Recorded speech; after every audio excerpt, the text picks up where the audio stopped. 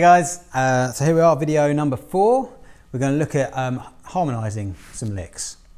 So what we're going to do for this is we're going to we're going to just play uh, a pretty standard sounding rock kind of lick, and then we're going to harmonize it diatonically um, in thirds.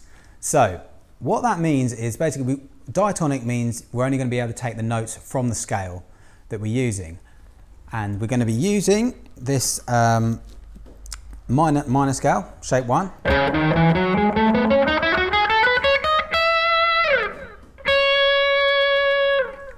and uh, we, are playing in C sharp for this.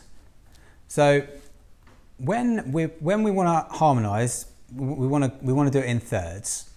So as we go up the scale, all we're going to do is take a note, and then we're going to miss the next note and go with with the one after that as our harmony note.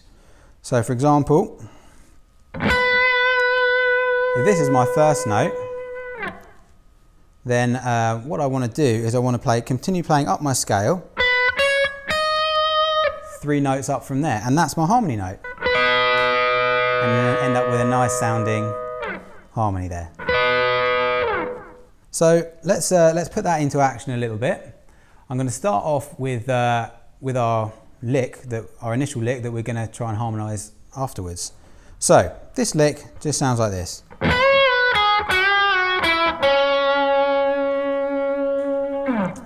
So it's, uh, it's a pretty classic rock sounding kind of kind of lick. It's got some bends in there and we're just running down the scale.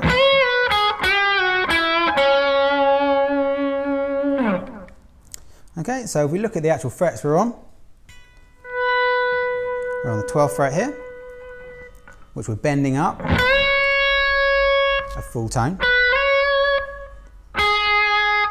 We're coming, we're releasing that bend back to the 12th fret, and then we're down to the ninth fret on the B string.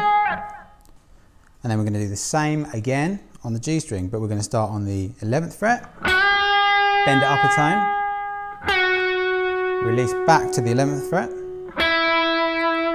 down to the 9th, and then we finish on our root note here, which is on the 11th fret on the D string.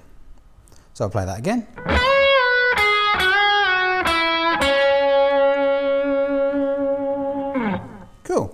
So when, when we want to harmonise this then, what we need to do is, um, as, as, we said before, we're going to need to run up this full scale, just missing a note and then going with a note after that. Diatonic means that they have to stay in the scale. So you can't just kind of pick a shape, sort of a regular third or whatever. It's got to always be notes from the scale. So let's start with the first one. We've got this one. So if I come up two notes, that's a third up from where we were. Now what we did was we bent the note up.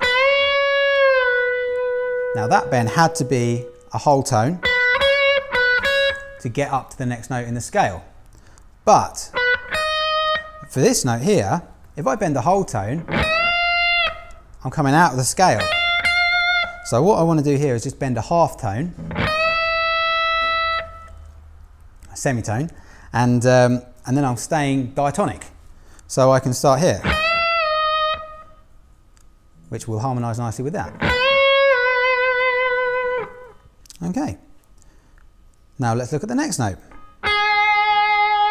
That's from the original lick. So if we run up, uh, run up a third from there, we go one, two, three. So that's our next note in our harmony lick. Which will harmonise nicely over. So let's look at the harmony lick. Let's just look at the frets quickly. We're on the 11th fret here, bending up a semitone, remember. Back down to the 11th fret, and then come down to the 12th. So we end up with that. Okay, now after that, on our original lick, we're down onto the G string, doing a bend. Again, it's a whole tone bend. So if we run up three notes from the scale, it's one, two, three. We're up to here for our harmony. Now this is going to be a bend as well, so we've got to decide if it's going to be a semitone or a whole tone. Well, if I continue running up the scale, my next note is a, is a full tone away from there, so that means I've got to do a full tone bend. Because if I only did a semitone, it would, it would be out of key and it wouldn't harmonise as nicely. So, we've got so far. That's what we've got. So let's look at the next note in the original lick. It's here. So if I run up three, three notes up the full scale from there, we've got one, two, three. And that's our harmony. There's no bend on that one, so that's nice and easy.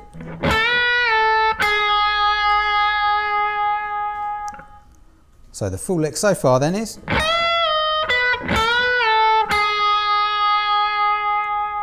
then we've just got one note left. In our original lick, it comes down to the root note here. So if we run up the full scale again, three notes, one, two, three. That means that is going to be our last note of our harmony lick. So I'll put them all together.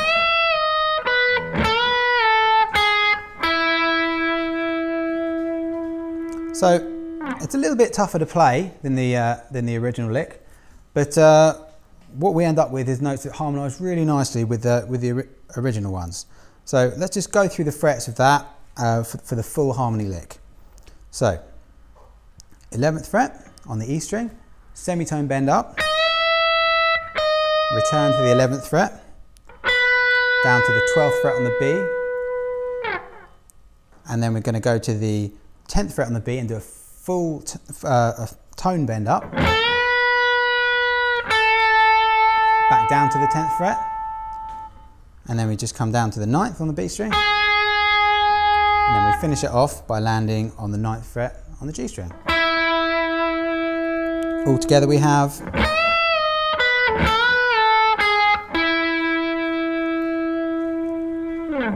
It's a nice sounding lick. So, I'm going to record a little loop now of, uh, of the lick. Um, and then I'm going to try and play over the top of that the, uh, the harmony so you can really hear what it sounds like. So this is in threes. So I'm going to go one, two, three, one, two, three.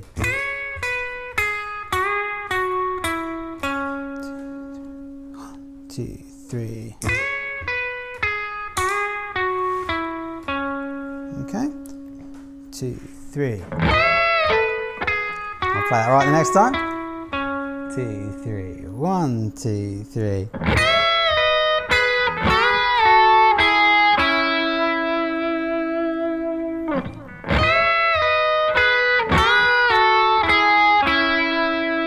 One more time.